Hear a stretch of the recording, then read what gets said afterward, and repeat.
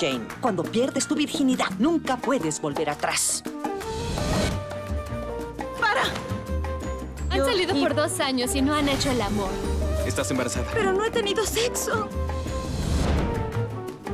Te inseminé por accidente hace 15 días. ¿Qué hizo? No estoy lista para ser mamá. Eres la parte más importante de mi vida. Y esto va a ser la parte más importante de tu vida también. Jane the Virgin, doble episodio estreno, jueves 19 de noviembre, por Lifetime.